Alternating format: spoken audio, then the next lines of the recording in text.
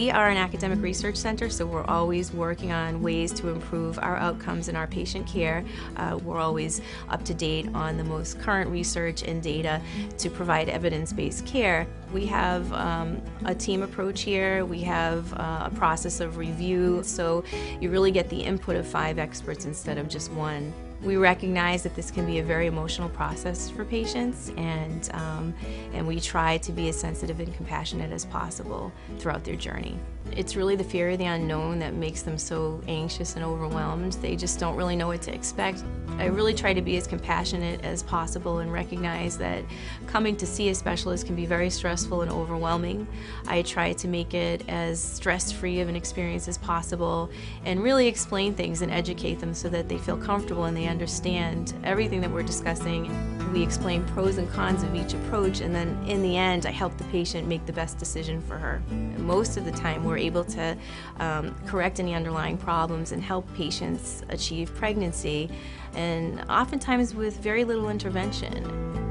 We've had many patients come for second opinions, and um, and a lot of those patients have stayed with us to receive care. And I think we are willing to take on challenges that maybe some other centers aren't because of our expertise.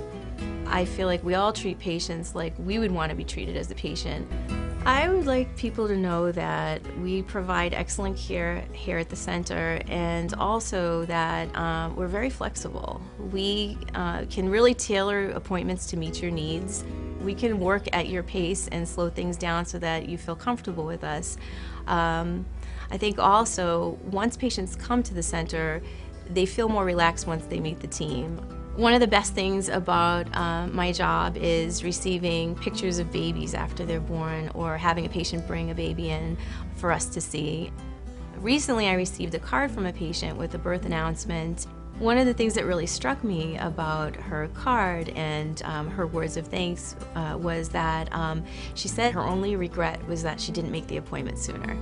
And I would encourage anyone that's listening to this that if you are thinking those thoughts that you might um, have an issue trying to conceive and you want to see a specialist, I would strongly encourage you to think about making an appointment. I, I think you'd be happy. I feel like I get to know my patients pretty well throughout the process and throughout their journey um, to conceive. And many of our patients will actually send us a card with a picture of their baby once they've delivered, or um, some of them, if they have time, uh, will actually bring the baby in for us to see. And that to me is, is the best reward ever, to be able to see the final result and know what happiness we've helped patients achieve. It's amazing. There's no feeling like it.